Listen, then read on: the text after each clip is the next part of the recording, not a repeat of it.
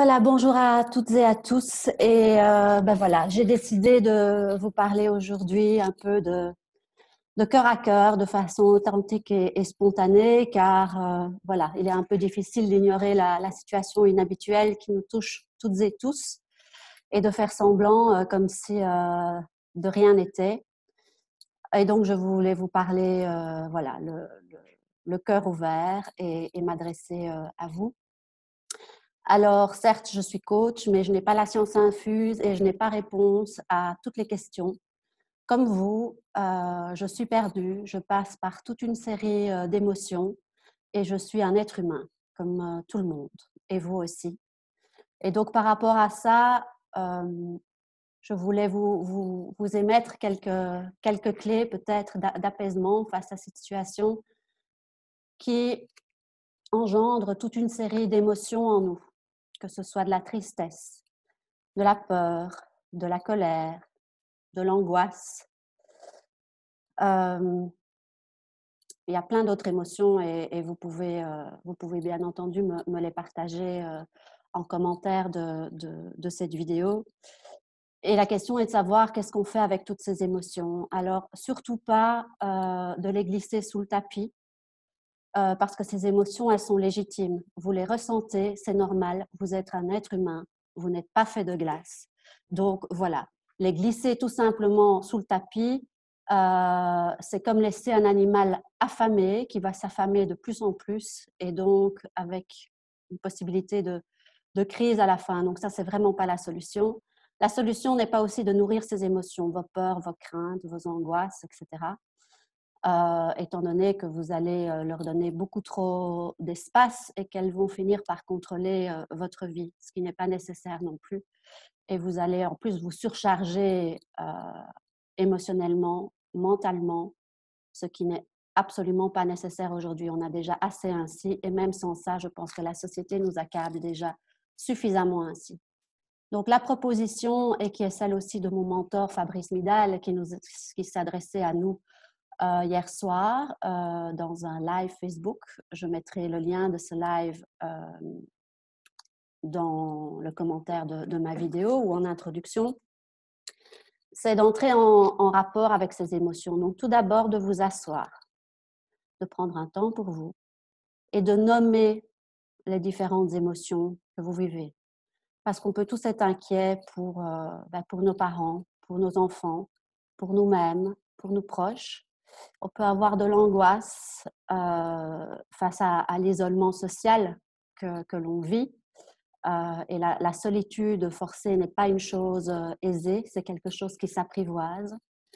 On peut avoir de la peur aussi face à, à, ce virus qui nous montre quand même notre finitude en tant qu'être humain. Donc, tout ça est légitime. Et donc, juste de les nommer, de vous asseoir, à la limite de fermer les yeux et de ressentir vraiment quelles sont les émotions que vous vivez actuellement, chaque jour. Et elles sont toutes légitimes et de les accueillir avec bienveillance, avec douceur et avec tendresse. L'objectif aujourd'hui n'est pas que vous soyez fort, forte, courageuse à toute épreuve. Non. Il faut que vous soyez bienveillant avec vous-même en tant qu'être humain. Et entrer en rapport avec vos émotions telles qu'elles sont, telles que vous êtes aujourd'hui. Les nommer, puis les ressentir physiquement. Où est-ce qu'elles se marquent physiquement, vos peurs, etc. Qu'est-ce que vous ressentez physiquement? Va vous permettre, avec le temps, de cultiver une certaine forme d'apaisement. En tout cas, c'est l'enseignement que moi, j'ai appris au travers de la méditation, la méditation de pleine présence, que je suis notamment via l'école occidentale de méditation qui a été fondée par Fabrice Midal, mais aussi via l'organisation Émergence qui a été fondée par Elios Kotsou et Caroline Lessire. Je vous mettrai les liens si ça vous intéresse, vous pouvez aller voir. Ils donnent des méditations. Euh, l'école occidentale, je sais, va le faire apparemment tous les jours, des méditations pour nous aider. Donc voilà, ça peut être une piste pour vous, mais pas nécessairement. Chacun doit voir ce qui lui euh, convient, bien entendu.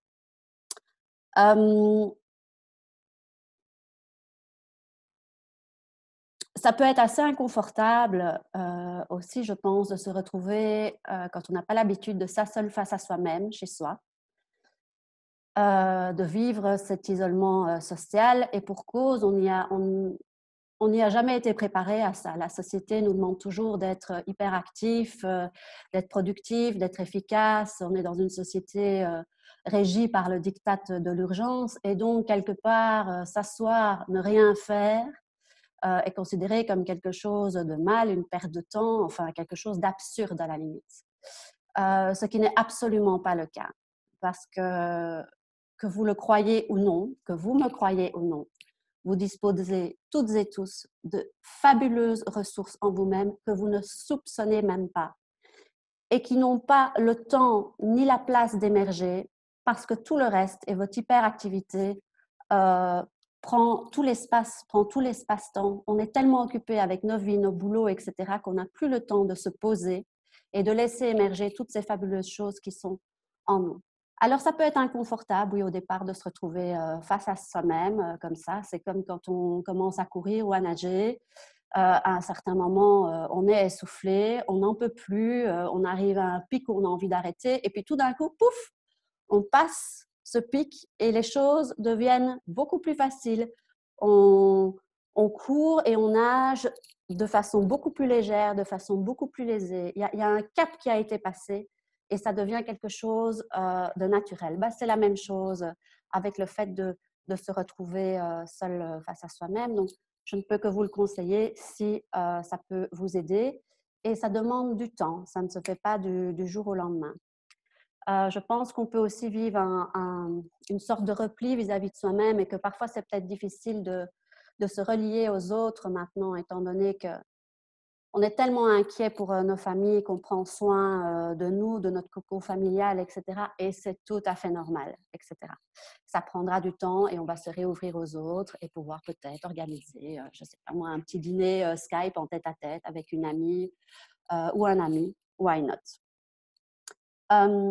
D'autres pistes par rapport à cette période particulière, et j'en parlais dans ma dernière newsletter à mes abonnés, c'est que moi, j'ai toujours cru, euh, enfin jusqu'à il y a trois ans, je courais dans tous les sens, je n'avais plus de vie euh, du tout et, je pensais que, le fait que ma vie était hyper remplie, que j'arrêtais pas de courir, eh ben, que cela donnait de l'intensité et de la valeur à ma vie. Et en fait, je me suis rendu compte que au lieu d'être pleine, cette vie, elle était en fait euh, tout à fait vide et vide de sens. Et donc, j'ai appris à, refixer mes priorités et, et là, peut-être, euh, une des opportunités qui nous est offerte par ce moment particulier est de pouvoir renouer avec euh, du temps pour soi et pouvoir refixer un peu ses priorités de vie. Alors, comme clé pour savoir ce qui est prioritaire dans votre vie, euh, ce que j'avais invité mes, abonnés à faire dans, mon dernier post, c'était de repenser à un moment de joie quelque chose, un moment qui vous a mis euh, très fortement en joie et de voir les sensations qui les ont accompagnés. Euh, moi, ça peut être ben, un des derniers moments euh, de joie que j'ai vécu, c'est ben, le matin très tôt, quand il fait froid, maintenant avec le, printemps qui se réveille, les oiseaux qui chantent, c'est de me mettre très tôt sur ma terrasse avec un gros gros pull, etc. et tout ça, et de prendre une tasse de thé bien chaude, de la serrer contre moi et d'entendre le chant des oiseaux, cette nature qui se réveille. Ça me remplit de douceur, de joie, de chaleur, de plein de choses.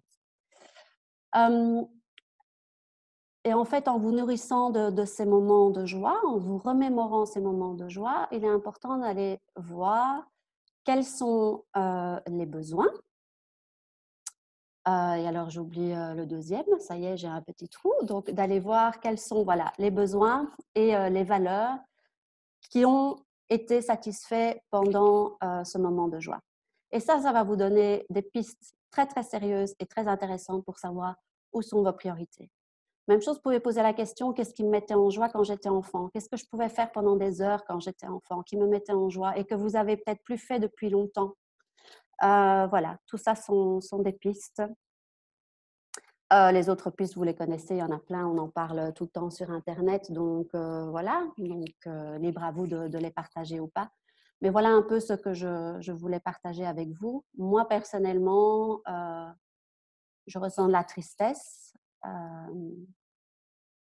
de l'angoisse, de la peur qui se mettent vraiment ici. Je sens vraiment un, poids là sur ma cage thoracique.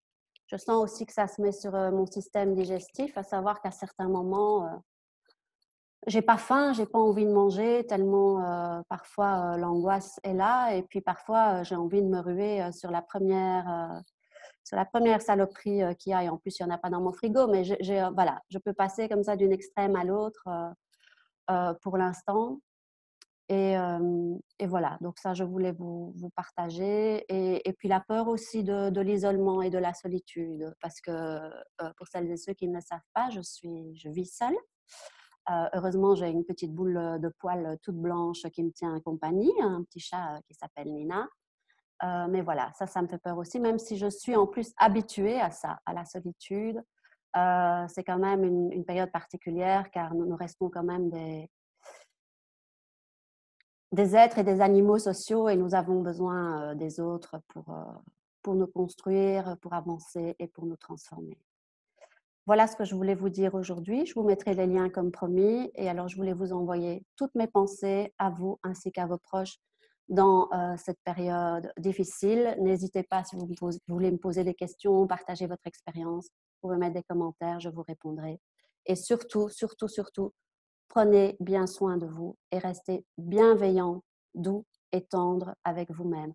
Tout ce que vous ressentez est légitime. Il ne faut juste pas laisser prendre toute la place et que ça contrôle votre vie, mais développer un rapport bienveillant face à ce que vous ressentez. Et je pense que ça, c'est déjà une chouette clé. Et il y en a d'autres qui ont été développées par euh, Fabrice Midal hier soir et que vous pourrez regarder si ça vous intéresse ou pas. Je vous embrasse très, très fort de très loin et je vous dis à tout bientôt. Ciao, ciao.